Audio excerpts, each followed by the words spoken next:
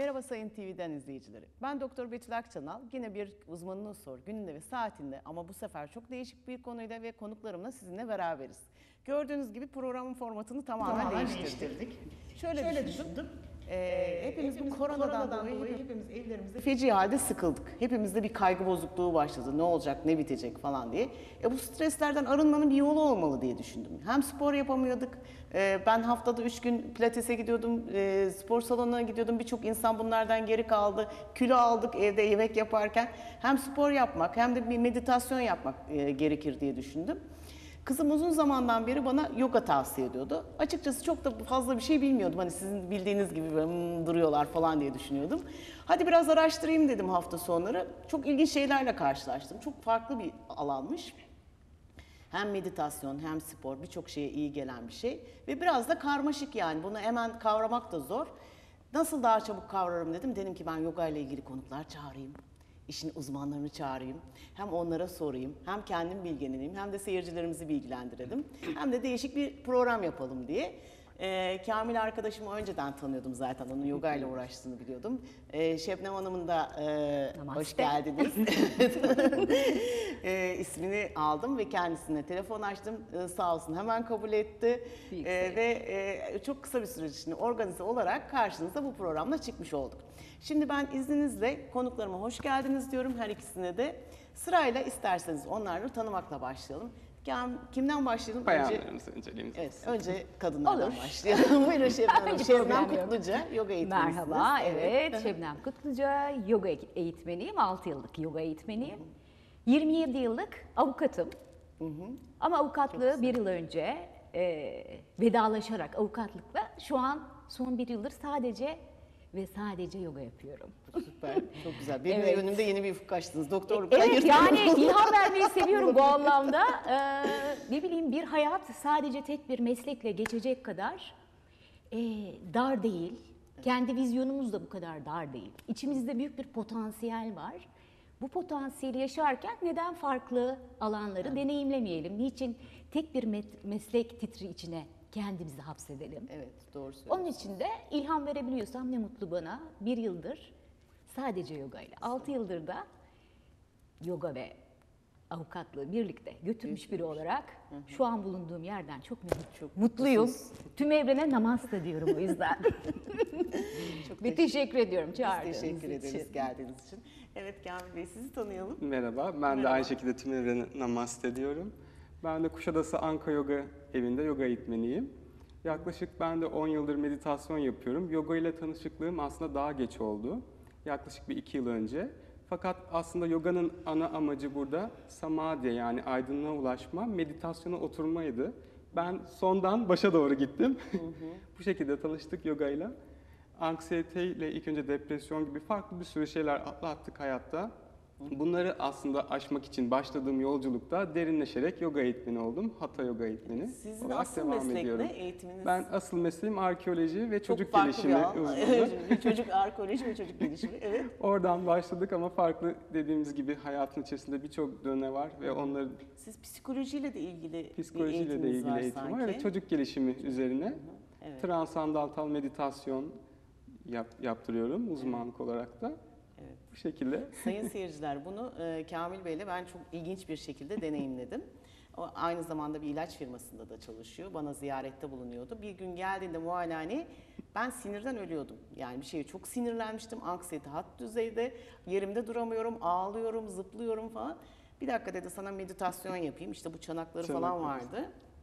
Ben böyle şeyleri aslında çok inanmıyordum açıkçası söyleyeyim. Hatta biraz da komik de buluyordum yani. Tamam dedim yani yapalım hadi. İşte biraz e, omuzlarım oldu, bir müzik açtı falan filan derken sonra bir baktım ben uyumuşum. Yani o çok sinirli halden bir anda uyumuşum. Ondan sonra uyandım ama çok acayip hafiflemiş bir şekilde uyandım. E, Kamil Bey başımdaydı dedim e, kaç dakika uyudun? Dedi ki 45 dakika.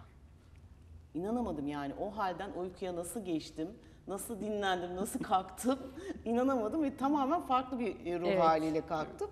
Ve ondan sonra evet yani inandım bunun için. Yogada bir sutramız vardır. Hani, e, Chitta Vritti Niroda. Bunun Türkçesi zihin dalgalarının sükunete ermesi. Evet. Yani zihin dalgalarını sakinleştirdiğimizde, susturduğumuzda zaten beden otomatik olarak gevşemeye başlıyor. Sizinle ilgili yogaya geçmeden önce bir de kitabınız var. Çok da ilginç bir kitap bu sayın seyirciler. Aşk, ve, Ölüm. Çok Kamil Sarhanlı yazmış. Ee, kendi ağzından Afrodit'in hikayesi diyor. Ne anlatıyor bu kitap? Şöyle, m, aslında ben arkeoloji okurken şöyle yola çıkmıştım. Mitoloji o kadar çok karmaşık bir süreç ki ve öğrenirken birçok kişi zorlanıyordu. Ne yapabilirim, ne yapabilirim, daha farklı nasıl aktarabilirim diye düşünürken tanrıların mitolojilerini kendi ağzından aktararak hikayeleştirdim. Aynı zamanda günümüzde yapılan birçok davranışın kökenlerinin aslında nasıl mitoloji dediğimiz kökenden geldiğini tespit ederek psikoanalizle birlikte kendi ağzından hikayelerini bildiğiniz anlattım. arkeoloji, psikoanaliz, Psikoanaliz. analiz hepsini birleştirerek, birleştirerek, hikayeleştirerek bir ürün ortaya bir ürün koydunuz. ortaya Çok çıkardık. güzel. Ve en kısa zamanda hepsini okuyacağım. Çok merak ettim. Evet, bu oturuşta hakikaten ayaklarınız uyuşmuyor mu? Benim biraz uyuşmaya başladı sanki. Bu oturuşta eğer Oturuş, u- uyuşuyorsa oturuşta hemen dizlerimizin altına birer destek verebiliriz. Ya da evet şu şekilde blok kalçamızın alabiliriz. altına birer destek verebiliriz. Şöyle. Blokları dikte Aha. Blokları koyabiliriz. dikte koyabiliriz. Evet, mesela diyelim daha yüksek şöyle de. Yok böyle mümkün. daha rahat olacak Evet. sanki. Hı hı, Tamam. Evet, Uzun dönem yardım. pratikten sonra kişi alışıyor oturmaya. Çünkü Evet, kök çakramız askısı açıldıkça Bu benim acemelikten oluyor yani. pratik alışkanlıkla ilgili. Pratik Çünkü beden e, öyle bir şey ki e, siz tabii tıp doktoru olarak daha iyi bilirsiniz. Zihnimiz değişik frekanslar üretiyor. Beta frekansı genelde bilinen bir şeydir. Stres anında ortaya çıkan frekanstır ve sürekli olarak kaç, kurtul, savunmada kal der. Ve bu ne yapar? Her şeyi kısaltır, daraltır ve sıkar. Genelde günlük hayatın içinde stresli bir hayat yaşadığınızı tahmin ediyorum. Sektör nedeniyle özellikle ve dünyanın bu hali nedeniyle. Biraz da kişilik dediği olmasa da ben o E, stresi yaratırım bir şekilde. Yani e, tabii içsel bir hani fıtrat dediğimiz bir kişilik elbette var ama yine de biz her, hepimiz toplumun içinde yaşayan insanlar olarak etrafımızdaki her şeyden çok etkileniyoruz. Özellikle en son pandemi sürecinde büyük bir kıstırılmışlık ve hapsedilmiş du- duygusu içindeydik ve bu bizi iyice kıstırdı, daralttı ve sertleştirdi. Eklemlerimiz de buna dahil. Aynen. Onun için e, ama biz ne yapıyoruz?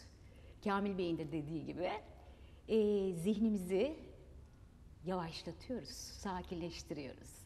Zihnin yavaşlayıp sakinleşmesi ve bir anlamda yumuşamasından sonra bakıyoruz ki fizik bedenimizde yumuşamaya başlıyor. Kaslarımız gevşiyor, eklemlerimiz açılıyor. Duygular sakinleşiyor. içe. Hepsi birbirine bağlantılı aslında. Fizik beden gevşedikçe zihin gevşiyor. Zihin gevşedikçe duygular ya da tam tersi değişik yerlerden başlanabilir. Mesela Kamil Bey e, meditasyondan bu konuya giren bir kişi olarak o meditasyon demek zihni terbiyedir bir anlamda. O zihni terbiyeden başlayıp daha sonra yoga yolunda asanalarla devam etmiş. Ben direkt olarak yogadan başladım ama şansım şöyleydi. Hep karşılaştığım eğitmen hocalarım zihni, bedeni ve ruhu aynı anda terbiyeyi ve aynı anda kontrolü öğreten kişilerdi. Bu yüzden de şanslı bir şekilde 6 yıl önce başladım ve başladığım yerde devam ediyorum. Şimdi yoganın tanımı bu mudur? Zihin, e, beden ve ru- ruh. Dilerseniz devam edeyim seve seve. Ee, şimdi şöyle baktığımızda yoganın çok değişik tanımları vardır. Yani bütün izleyicilerimiz açarlar Google'ı. Google amcamız çünkü bizim yardımcımız. Evet. Yazarlar yoga nedir? Bütün Ben de öyle başladım. Evet, evet aynen. Ben de öyle başladım. Hepimiz öyle başladık bir evet, yerden. hepimizin başlangıç noktası aynı. Yoga nedir? Yazdığımızda e, 2000 yıllık minimum yazılı yoga tarihinden bugüne Bildiğimiz kadarıyla. Evet, yazılı olan bu çünkü. Yüzlerce tanım çıkabilir karşısına. Aslında herkesin yogası ayrı derim ben. Çünkü e, yoga anlatılmaz yaşanır bir süreç. Ben bu soruyla karşılaştığım değişik platformlarda cevap olarak ne veriyorsam aynını burada vermek istiyorum. Yoga bence bir aşk yolculuğu. Oo çok güzel. Evet. Ama bu aşk nereye?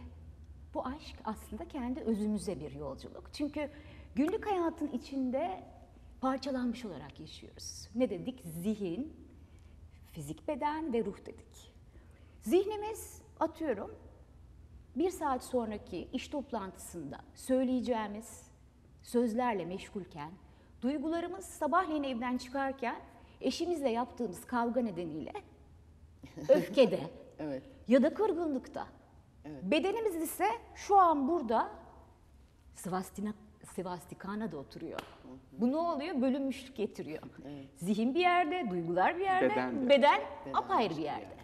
Yoga'nın yaptığı şey aslında eee, gerek meditasyonlar, gerekse asanalarla anda kalmak denen o çok bildik, yeni şöyle bir son 15 yılın Evet. Hep söylediğimiz çok- ama asla yapamadığımız. çok evet e, favori popüler bir deyimi olan anda kalmak olayını sağlıyor. Gerçekten de sağlıyor. Ya Sağlıyor. öyle bir şey var. Duygumuzu, düşüncemizi ve bedenimizi aynı ana getiriyoruz. Aynı ana getirildiğinde ne oluyor? Muhteşem bir rahatlık oluyor. Muhteşem bir üretkenlik oluyor. Sadece o anda ne yapıyorsak o oluyoruz. Su içiyorsak sadece Su iç. su içen oluyoruz. Kitap okuyorsak sadece okuyan oluyoruz. Konuşuyorsak bir iletişimdeysek Bu bana iyi gelecek. gibi. Sadece- benim kafa hep bir yerlerde uçuşuyor. Evet. o işte şey vardır şimdi eee, kimin söylediğini bilemiyorum. Beynimiz bir maymun gibi zıplar der. Patanjali'nin mi? Ha. Sutralarda. Usta. Bir Usta. tek benimki Evet. zıplı zıplamıyor. Hayır bu herkesin. Herkes için. Evet. O yüzden aşk yolculuğu derken bu duygu aşka yakın bir duygudur. Evet. Çünkü aşk Birlik, ne yapar? bütünlük. mutluluk verir. Koşulsuz bir haz duygusu verir. Ha, bu şey aşktan bahsetmiyorum. Hani böyle acı veren arabesk bir aşk değil. Ay, Bu gerçekten de hayatın özüne. Belki şuna benzetebiliriz. Hani böyle güzel bir gün batımında sahildeyiz. Karşımızda güneş yavaş yavaş inmekte. Biz de oturduk o anın içinde büyük bir huşuyla izliyoruz ve anın içinde kayboluyoruz. İşin e, şifa kısmı özellikle benim kendi özelimde deneyimlediğim bir e, konu olduğu için bunu böyle ısrarla dün de Kamil Bey'le uzun uzun konuştuk. Yogaya başlayanların geneli travmalardan geçerler. Travma bu illa travma deyince e, beyinsel işte duygusal bir travma değil, fiziksel travmalardan da geçtik. Geçen bir kişi yogayı bulabilir. Çünkü hiçbir şekilde fiziksel sorununa çözüm bulamıyordur. Ne yapayım derken, aa yoga yap diyebilirler ona. Ben de biraz böyle hem zihinsel hem fiziksel hem duygusal sıkıntılarım nedeniyle yogaya başlamıştım.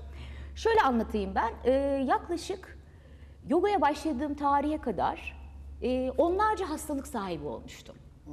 E, kolesterolden efendim hipomaniye, depresyon, derin depresyonlar, bel fıtığı, boyun fıtığı, fibromiyalji, e, tendonit bileklerde. Yani böyle ekstra ekstra şu an büyük kısmını unuttum. E, ve sürekli hasta olurdum. Her kış dört kere falan hastaneye yatıp serum bağlanırdı grip olduğum için. Yogaya başladığım e, 2013 tarihinden sonra aradan geçen 7 yılda 7 kez bile grip olmadım. çok güzel. Bariz Bir- bir etkisi oldu diyorsunuz. Bariz ötesi yani beni tanıyanlar bilir. e, bütün herkesin böyle gripten kırıldığı bu dom- e, şey bu kışın ilk başları bu henüz korona e, belası başımıza gelmeden önce korkunç bir grip Evet, dönemi tabii, vardı. Domuz gribi ve e, influenza B oldu. Influenza A Evet ve değil B mi? Evet o dönemde aslında. benim birçok öğrencim dersleri bırakmak zorunda kaldı bu e, salgın nedeniyle.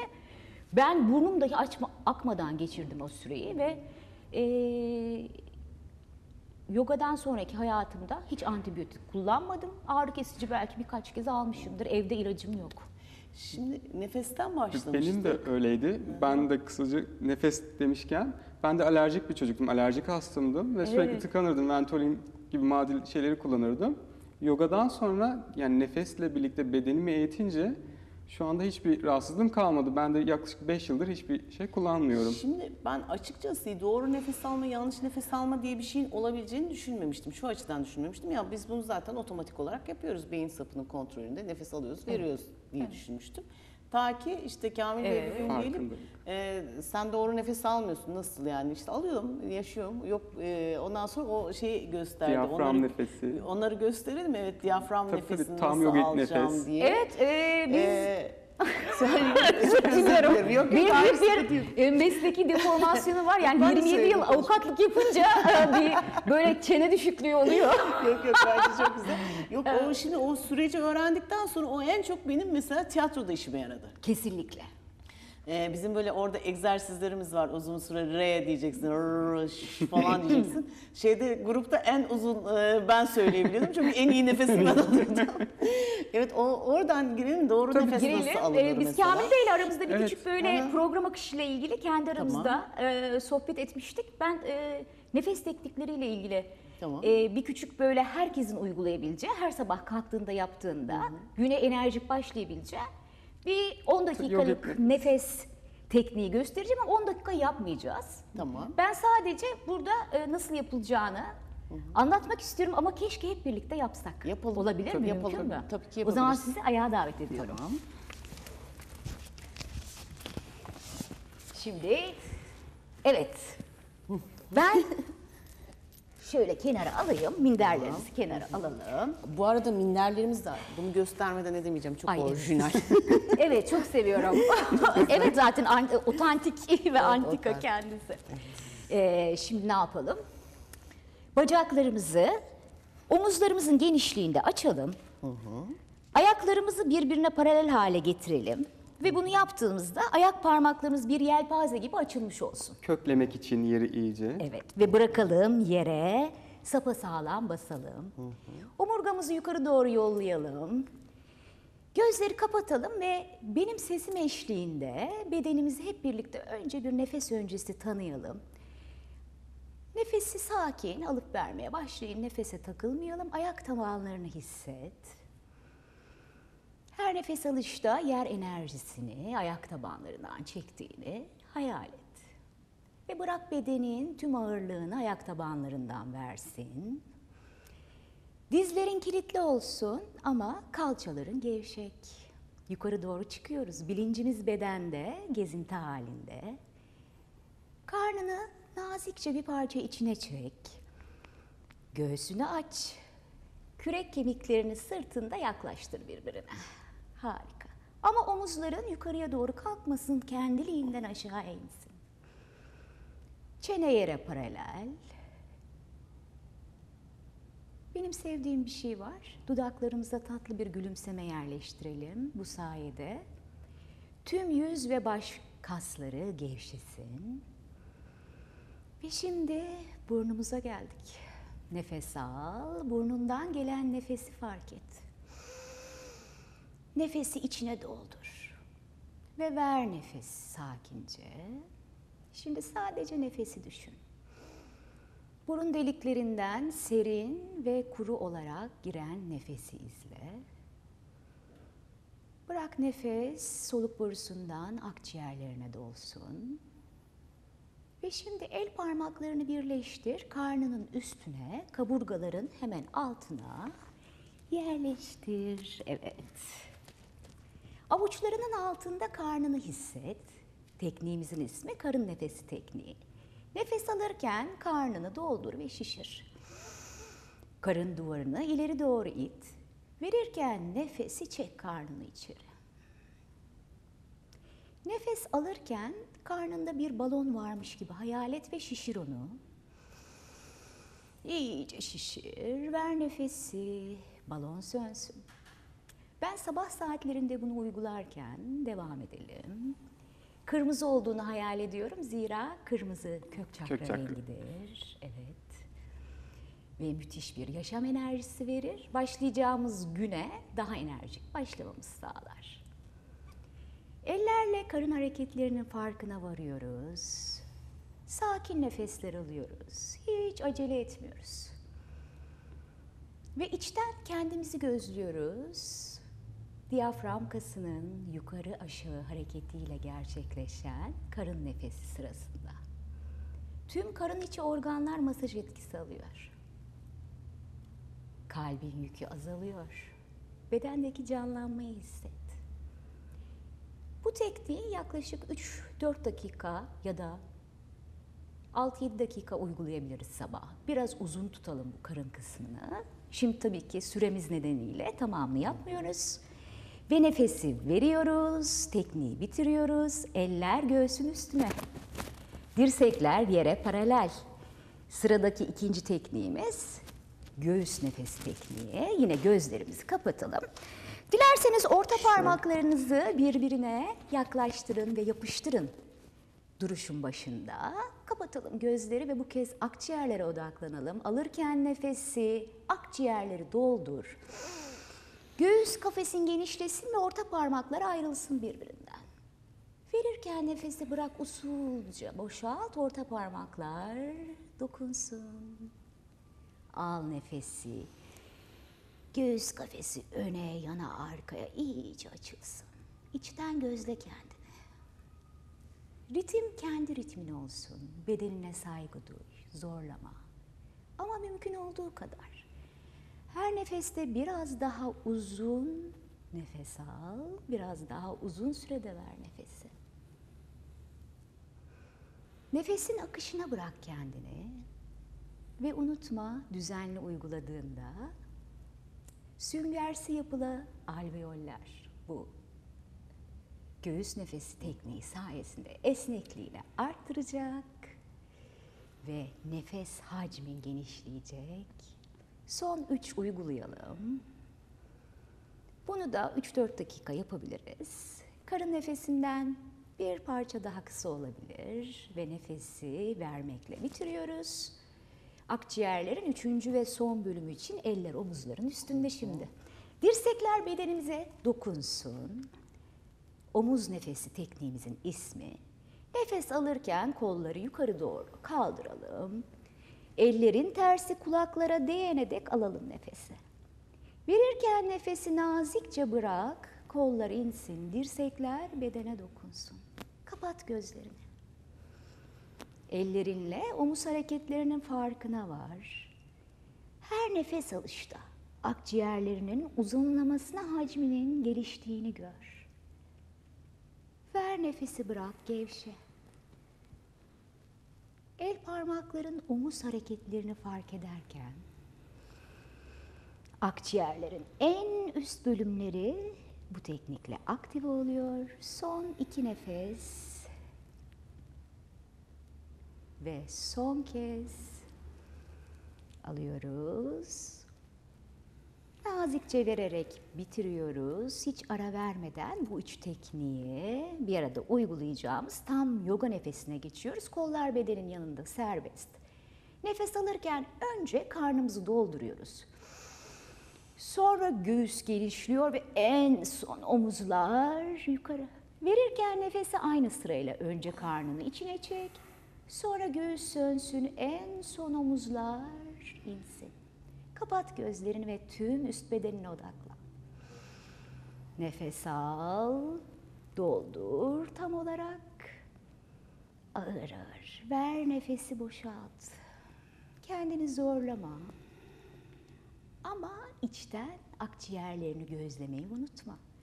Tam yoga nefesi tekniği sayesinde gündelik solunumdakinden çok daha fazla oksijen aldığımız için mutluluk hormonu seviyemiz artıyor ve önce fizik beden, sonra duygular ve sonra zihnimiz sakinleşiyor, dinginleşiyor ve sessizleşiyor. Bu anın tadını çıkar ve son iki kez uygulayalım.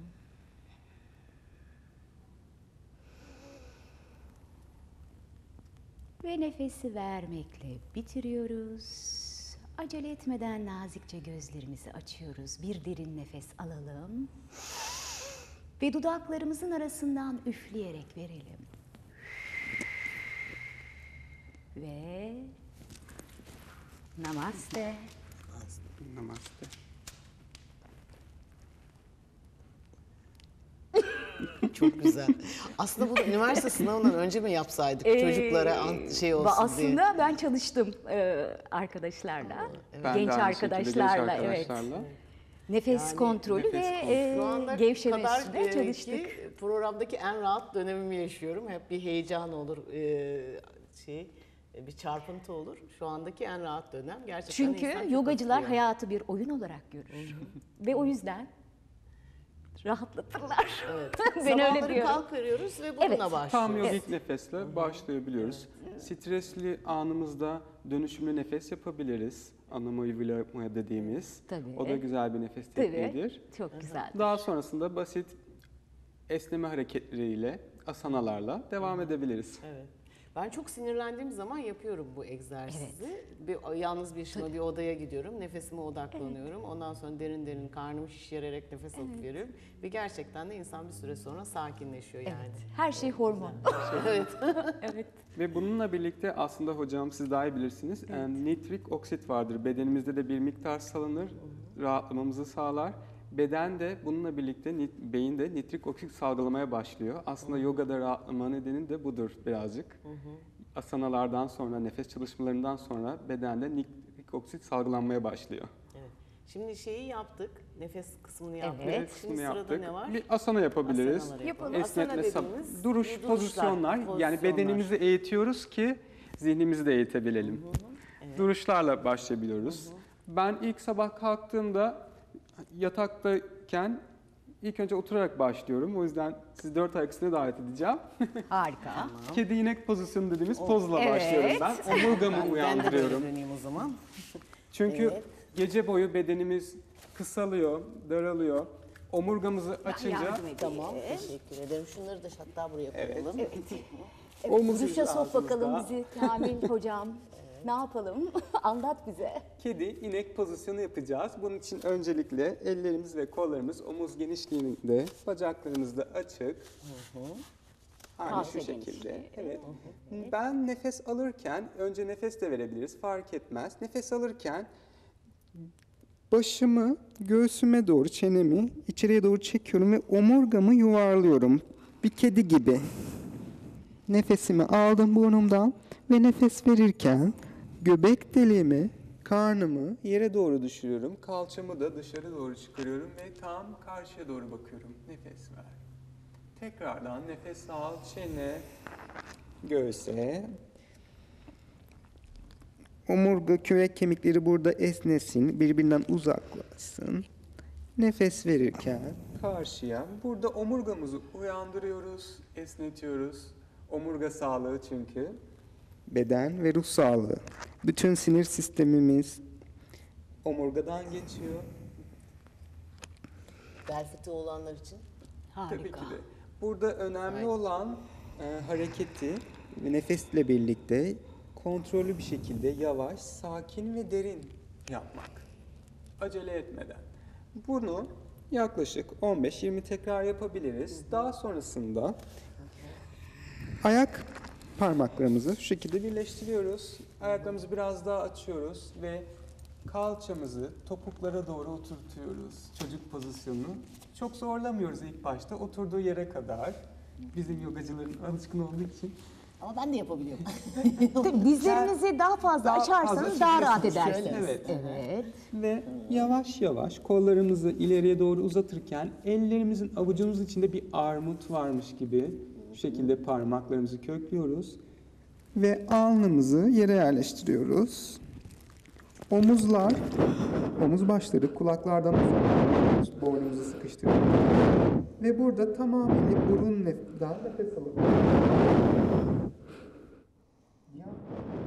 Nefesini hissediyorsunuzdur hocam.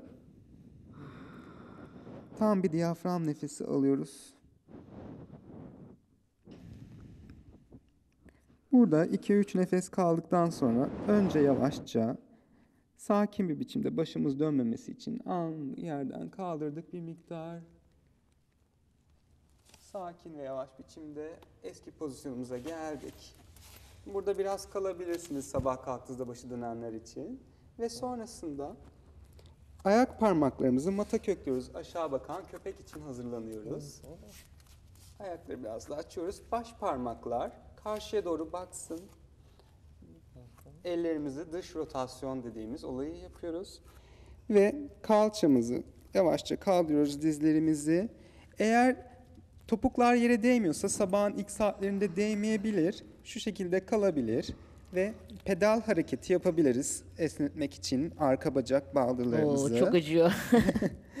Eğer değiyorsa yere, bir pratiğiniz varsa topukları yere değiştiriyoruz.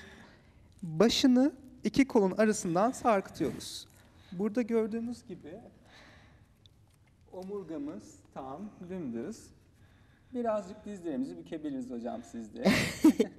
Ve pedal hareketiyle esnetebiliriz, Bir açabiliriz. sağ bir sol. Bir sağ bir sol şeklinde. Ha, Ha, böyle. Bisiklet gibi. Bisiklet gibi. Çok keyiflidir bu. Çok keyiflidir. Ve sonra tekrardan yavaşça dizlerimizin üzerine gelip Yine çocuk pozisyonunda bu sefer kolları arkaya alarak tamamıyla çocuk pozisyonunda dinlenebiliriz.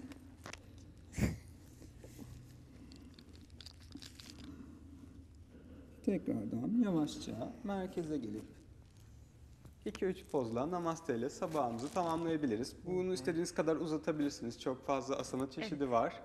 Günlük pratik olarak 2-3 dakika ayırsanız kendinize güne enerjik, sağlam, bedenle Yani başlarsınız. şeyde e, seyrederken sanki çok basit hareketlermiş gibi görünüyor. Ama sayın seyirciler şu anda ter içinde kaldım. Ve bütün kasları da hakikaten zorluyor. Zor. Kilo kontrol Tabii. için çok idealdir e, yoga o yüzden. Ee, Onu da söyleyelim hemen. Şeyde dikkat ettiğim hani yoga yapanları izledim. Ee, çok güzel hareketler. Onu hangi aşamada yapıyorlar bilmiyorum. Tek elin üstünde duran e, şeyleri de gördüm. Aerobik hareketlerimiz. Değil mi? Ee, evet, yoga pazarının pazarlanan hareketleri, Instagram yogacıları. Ee, evet yani o aşamaya nerede İlk başlayan öğrenciler ama- hep sorar bize. Ne zaman baş aşağı duracağız? Niçin duracaksınız? E fotoğraf çekmek için. Aslında yoga o değil. Hı. Amaç o değil yani. Amaç o değil.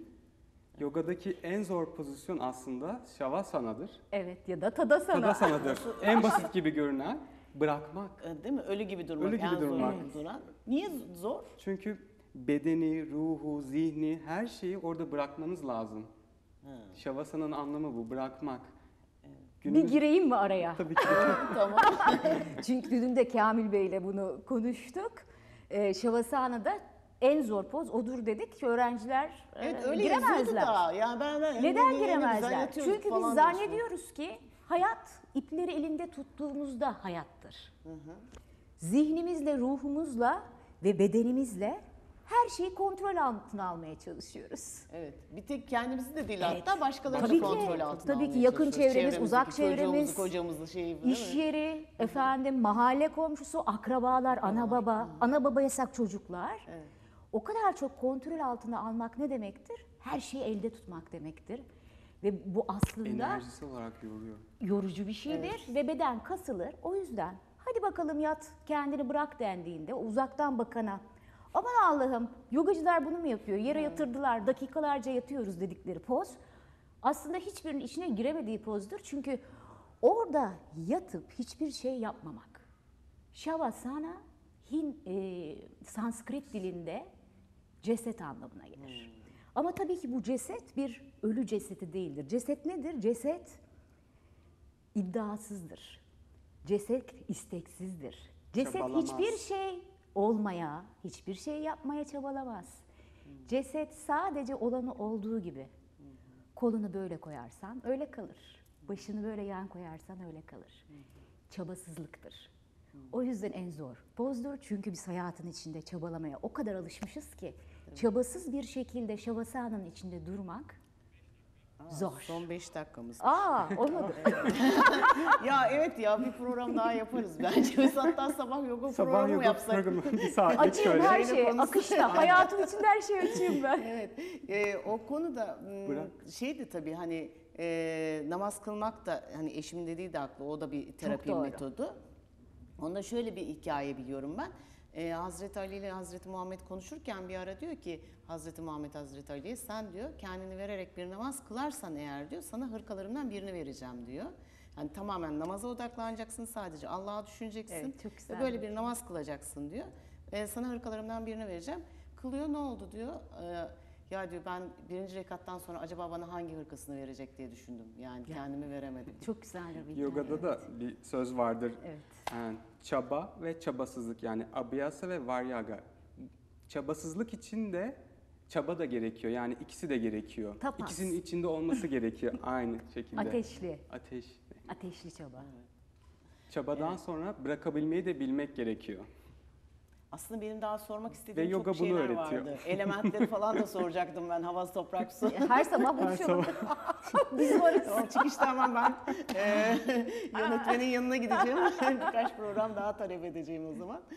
E, Yani şimdi herkes... Aa, bir de şeyi söyleyeceğim. Şunları da e, Aa, evet. getirmişken... Çanakları, evet. evet. Son 5 dakikamızı değerlendirelim. Sonra ben birkaç dakika daha alıyorum zaten. Kızıyorlar mızıyorlar ama... Yoganın sonunda ben çanaklarla çalışıyorum. Şavasana'ya kişiyi yatırdıktan sonra isterseniz bir Şavasana'ya yatabiliriz. Tamam. Evet, Ben de harika yatacağım. Tabii hep birlikte yatabiliriz. Tamam. Peki. Yani bırakacağız. Bırakacağız. Bırakacağız. Ben şöyle yapayım. dakika. Ayaklarım size doğru olmasın. Baş başa gelelim. tamam. Evet. İyi miyiz? Kollarımızı hafifçe açalım iki yana. Ayaklarımızı da açalım. Tamamıyla bir ceset pozisyonu gibi yerleşiyoruz. Gözlerimiz kapalı ya da açık bir noktada da kalabilir. Öncelikle nefesin farkındalığına odaklanıyoruz. Bunun için zihninizden sayabilirsiniz nefes alış ve verişlerinizi. Ben şöyle diyorum, kişinin yettiği nefes kadar 3 sayıda nefes al, 3 sayıda nefes ver ya da 4, 6, 2 katı kadar nefes alıp veriyoruz.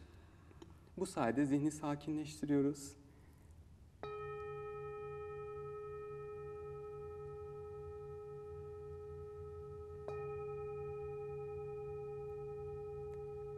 Farkındalıklı olarak nefes alıp vermeye devam ediyoruz.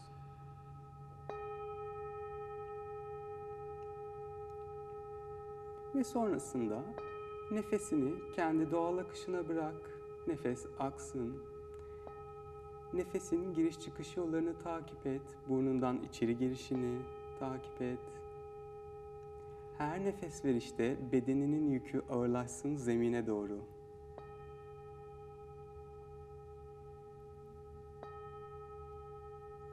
Ve her nefesle birlikte kalbinin atışını duy. Yaşamı hisset.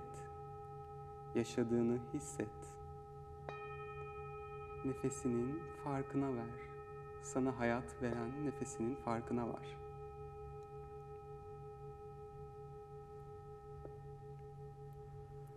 Ve derin bir nefes alarak gözlerimizi yavaşça açıyoruz.